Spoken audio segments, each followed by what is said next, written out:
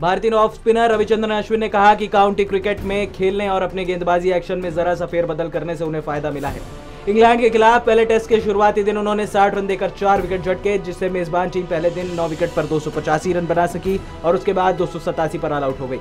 Ashwin county team versus Worcestershire की ओर से खेल चुके हैं। उन्होंने बीसीसीआई डॉट टीवी से कहा कि जब मैं यहाँ पिछले साल काउंटी खेलने आया था तो पहली चीज़ मैंने महसूस की कि यहाँ के गेंदबाज किस रफ्तार से गेंदबाजी करते हैं।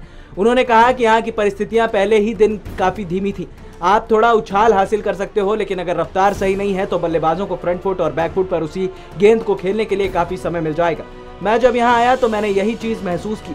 इसके 31 वर्षीय भारतीय गेंदबाज ने अभी अंठावन टेस्ट में 316 विकेट चटकाए हैं। इसके बाद ही उन्होंने अपनी गेंदबाजी एक्शन पर काम करने का फैसला किया। अश्विन ने कहा कि पिछले 12 से 18 महीनों में मैंने काफ़ी समय क्लब क्रिकेट खेलने में बिताया। मैं अपने एक्शन को और थोड़ा सरल करने पर काम कर रहा था और मैं इसमें कारगर रहा और मुझे अब रिज़ल्ट मिले। नेक्स्ट नाइन स्पोर्ट्स डेस्क की रिपोर्ट अगर आप भी बनना चाहते हैं städerna, jaktskuttar och journalister samt böcker.